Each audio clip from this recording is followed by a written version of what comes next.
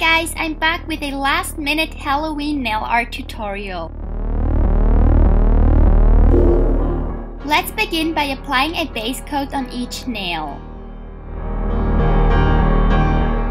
Then take a nude polish and add 2 to 3 coats.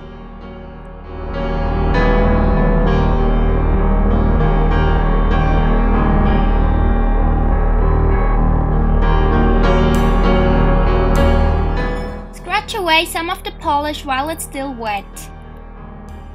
As you can see, I applied already a matte top coat, but in the end I feel like it was too early, so wait for the matte top coat until later.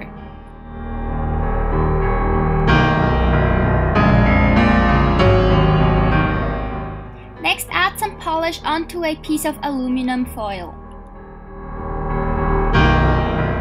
Wait until the polish gets kind of stringy like shown here. Start to add it around the wound to give it a 3D effect.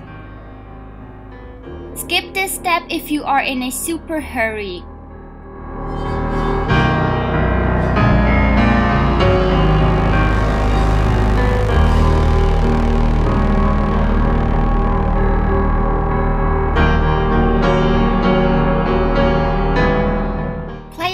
With your cut until you like it.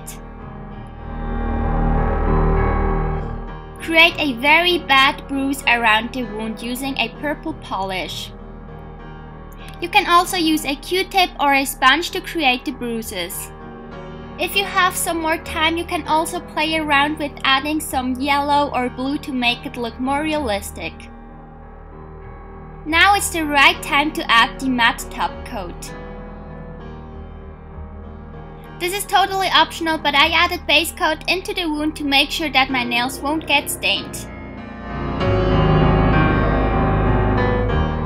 Add some dark red on the sides of the wound. This will look like some dried up blood.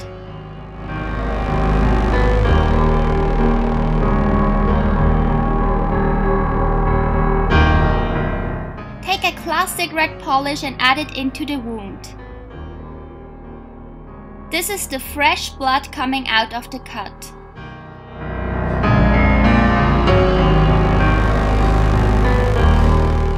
I added top coat over the blood but I wouldn't do it since it takes away from the 3D effect.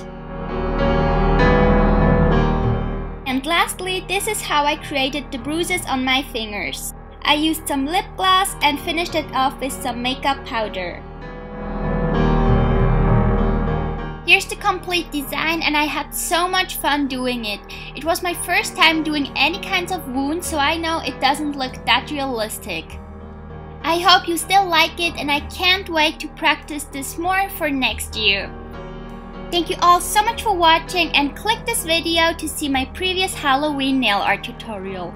Also check out my Halloween playlist in the info box for a lot more nail art ideas. I wish you all a fun and safe Halloween. Bye!